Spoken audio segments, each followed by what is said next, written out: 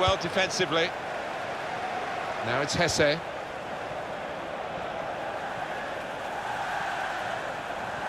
He's taken on his man and beaten him. Moving forward with some danger to the opposition now they're here.